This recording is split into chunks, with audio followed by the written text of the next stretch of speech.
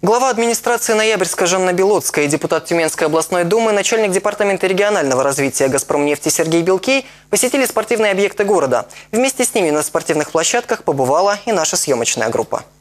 Благодаря подписанию совместного договора между муниципалитетом и нефтяниками в Ноябрьске возводятся все новые и новые объекты для массовых занятий спортом.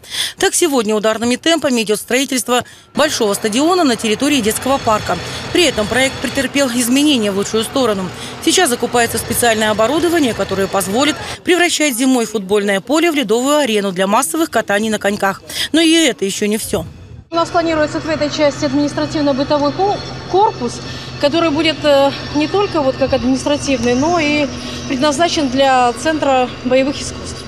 Двухэтажный либо трехэтажный этот корпус. И э, трибуны на 400 мест. То есть у нас будет такой стационарный хороший стадион, э, где мы сможем проводить мероприятия любого уровня. Остается добавить, что строительство стадиона будет завершено в 2014 году, и он станет лучшим на Ямале. Высокая делегация посетила уже действующие спортивные площадки, на которых с утра до вечера не смолкают детские голоса. В ближайшем будущем таких площадок в городе будет 10.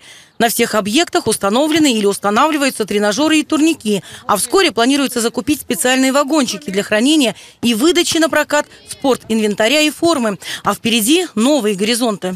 Я очень жду э, Ледовый дворец здесь, в Ноябрьске. Я думаю, что вместе со мной его ждут не только, э, не только я жду, но и, и все жители Ноябрьска, молодежь, по крайней мере. В Ингапуре, вы знаете, мы также делаем э, спортивный комплекс «Зенит» э, вот, с плавательным бассейном. Э, ну, я считаю, что, наверное, немало. Ну и, конечно, смотрим будущее.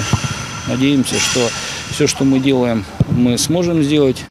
Кроме того, по инициативе депутата Сергея Белкея правительство Тюменской области приняло решение выделить Ноябрьской с Дюстшор на приобретение спортивного инвентаря и формы почти 700 тысяч рублей. А в целом, благодаря конструктивному сотрудничеству компании «Газпромнефть» и администрации города, Ноябрьск превращается в настоящий спортивный оазис Ямала. Оксана Балун, Артур Кабаневский, Григорий Куроптев. Новости нашего города.